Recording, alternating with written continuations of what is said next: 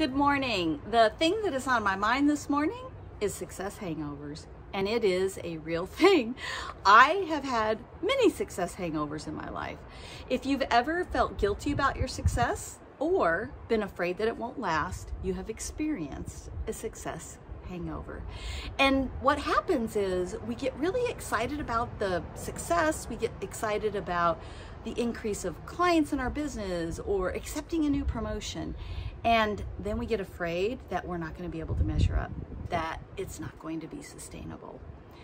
So here's what I want you to do. Instead of going to that negative place, I want you to remember that you are valuable. Your experiences are valuable. You were given the position. Your clients hired you because you have information and experience that they need in order for them to be successful.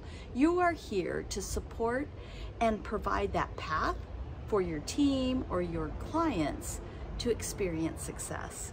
The other thing is there are so many ways that you can earn money your experiences are valuable in a multiple variety of ways. And so really sit down and write the list of all of the different ways that you can add value and different ways that you can earn income, whether it be through your, corporate career, your side hustle, your business, what products and services you can add, and tuck that away.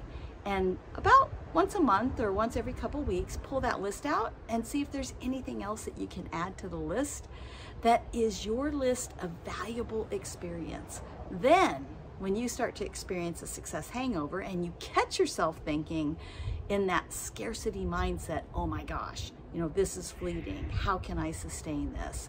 And all of the what ifs that happen after, pull out your list, take a look at all of the ways that you are so incredibly valuable and the ways that you can earn money and you can combat that success hangover. I would love to hear from you if you have ever experienced a success hangover or if I'm the only one. I don't think so. I think there's several of you out there who would say, oh yes, I have experienced that before. And share with me your tips on the things you do to open yourself up to more abundance and get out of that success hangover quickly. Hope you guys have a wonderful day and I look forward to hearing your tips on how you create more abundance in your life. Have a great day and I'll see you in the next video.